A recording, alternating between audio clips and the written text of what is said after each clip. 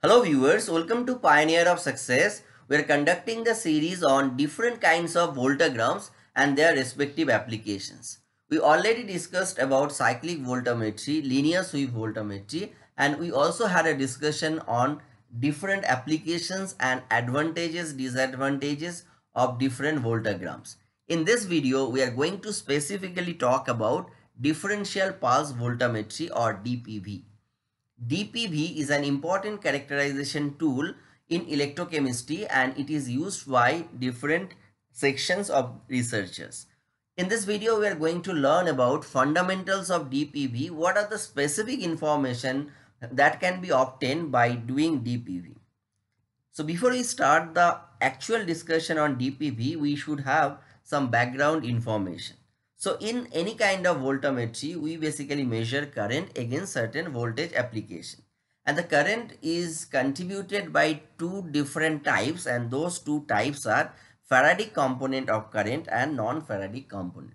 So what is Faradic component? Faradic component means a reaction is happening on the electrode surface and it actually changes number of electrons in a short time span and that's that's why the current ramps up or it suddenly ramps down based on the direction of the electron flow.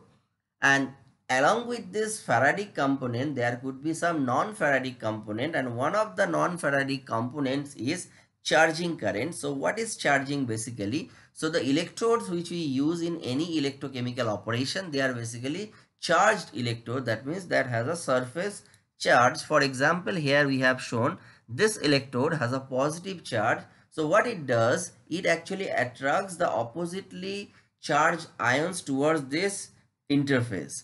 And here you can see negatively charged ions, that is anions are coming towards this electrode and forming a preferential layer onto the electrode surface. And this is the process of charging is and during this charging a current alteration happens and that current is called the charging current. So when we do say cyclic voltammetry, the current which we are getting that is basically combination of Faradic and non-Faradic. In general, Faradic component intensity is way higher than the non-Faradic component. If this is the case, then it interferes very negligibly, but sometimes what happens, this charging current also contributes significantly or the Faradic component of current is not that much high in of high intensity. In those cases, we may actually be confused whether the current is coming due to the Faradic part or the non-Faradic part or due to the charging current. And that is why we should have some procedure by which we can actually segregate these two components of the current or we can actually remove the non-Faradic component of the current and we get information about the Faradic component of the current. And DPV is a procedure by which we can actually negate this non-Faradic component of current and we can actually have information related to Faradic component. Again, we are saying it's not like we can totally neglect this non-Faradic, but in DPV, we try to remove this background current, charging current as much as possible. So this is the basis. So here we have given one example, say this particular curve, there are two curves it looks like a Faradic component but actually these curves are combination of Faradic and non-Faradic and by looking at this curve qualitatively you will not be able to say how much current is being contributed by the Faradic part and that is why some procedure should be there which can actually segregate this Faradic and non-Faradic current. Now how exactly we can do this segregation or we can subtract the charging current. So the simple idea is the true Faradic response. So here we have written this formula. True Faradic response is the current response which is obtained by the experiment because this guy is having both the Faradic and non-Faradic component and we are negating the background charging current. So if we do this, we can get current due to the Faradic response mostly. And how exactly this is done? This is done by making some delay in measuring the current by putting this kind of pulses. So you all know what is a pulse function. Suddenly a certain value of uh, say um, voltage is applied and we are actually allowing some time for holding that particular voltage. Again in a layman language say the voltage was minimum here we applied a pulse and say from this time step this particular voltage is applied and we hold this voltage for some time and then again we drop it. So this is what the pulse is and we measure the current little bit delayed. That means somewhere here if this is the time axis somewhere here we measure the current. That is called delay in measuring the current. And we are saying if we make a delay then we can actually negate the charging current. Why is it so? Why making the delay can negate the charging current? We will come to this point in the upcoming slides. But the idea is by applying this pulse function and making some delay in current measurement we can be able to negate this background charging current so in order to understand why we need to negate the background charging current and why we need to put a pulse and make a delay in measuring the current. So we have given two equations. The first equation shows the decay of the current or the charging current. So IC represents the charging current and this is the formula for the decay of the charging current. So all of you might have seen this particular formula. This is nothing but the RC circuit charging response current. So you might have read it uh, in your school level or early college days. So you can just go back to RC charging circuit and you can have the derivation of this particular formula. But for the time being, we realize that this is the formula by which charging current depends. So this is the time dependence charging current. So here you can see with respect to time, the current actually decays exponentially. So here this red line shows exponential decay of the current. But in case of Faradic current, uh, this particular IF represents Faradic current and with respect to time it follows this particular formula where you can see the current is actually inversely proportional to the uh, square root of time. So uh, if we assume all other parameters can be kept as constant then if varies with t to the power of minus half and this is how the profile looks like. If we plot this particular function it will look like this blue color curve. So here one thing can be noticed.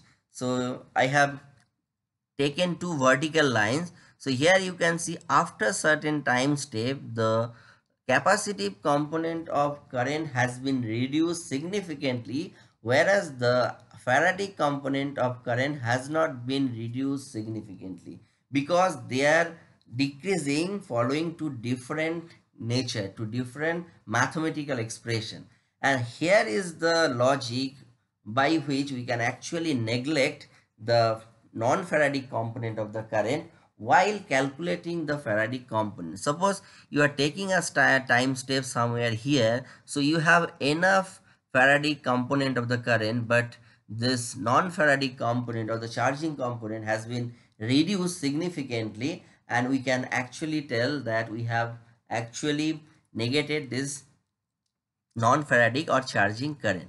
So I hope this particular formula distribution of the charging current and Faraday current and their respective nature talks about the delay why we should make a delay. So this is the delay. Say if this is t0 we have to make a delay up to this and that should be termed as the delta t we have taken a specific example this is called differential pulse voltammetry wherein the function looks like this so this is the black curve shows staircase increment of potential so when we linearly increase any potential basically it happens in a discrete manner so whatever, whatever instrument you use to generate the function, it basically generate discrete change. So with respect to some time, suppose now it is 0.2 voltage. After some time, it will be 0.21, then 0.22, 0.23. This way, it will keep on going. So it is not continuous. It is taking discrete points. So the discrete point increment can be termed as a staircase function. So this is the linear change of the potential Alongside this, we apply an additional pulse.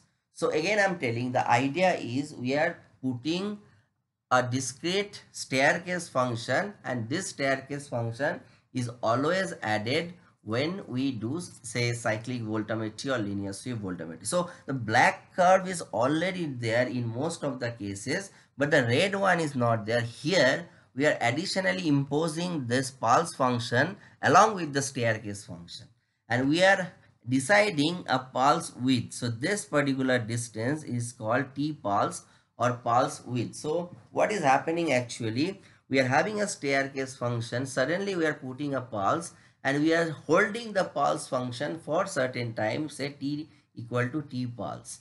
And what is happening on the electrode during that time? That is being measured.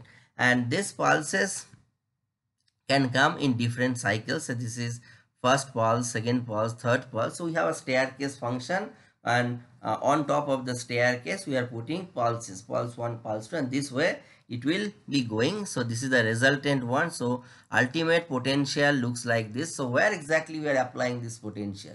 We are applying this potential on the electrode surface and in the counter electrode we are measuring the current and the current response talks about the dpv so here we have shown this decay component again so this is the IC charging decay which decays very fast. So we should take a time step.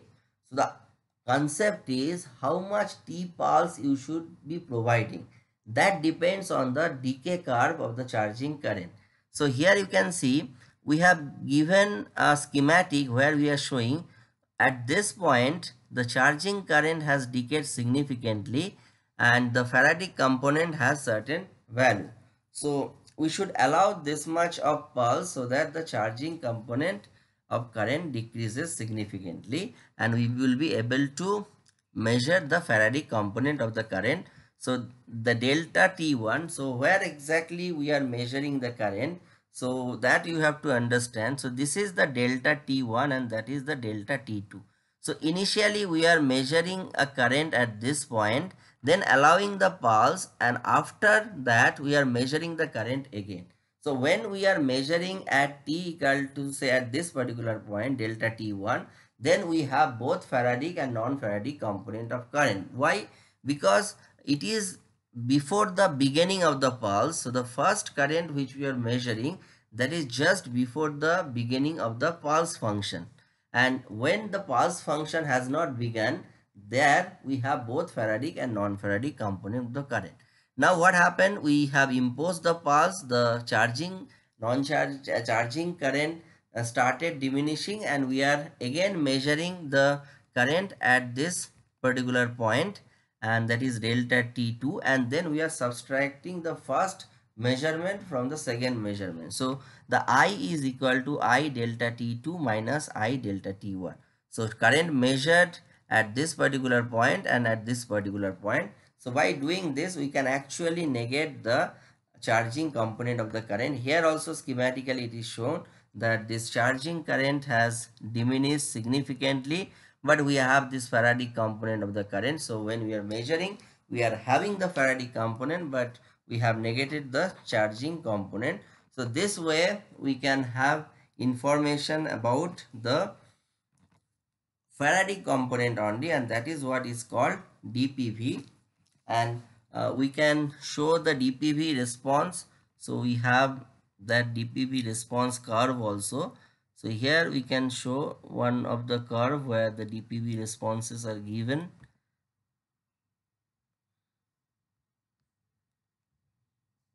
Yeah this is the DPV response. So after we apply this kind of pulses then we get this kind of DPV response. So this DPV response signifies a particular Faraday component of the current. So wherever you have a Faraday reaction, we get a peak like this. So this is more useful. So if you have two Faraday reactions in your system, you may be getting two such peaks. So we'll be continuing this particular topic in the upcoming videos. I hope this series will be helpful for you uh, and thank you very much.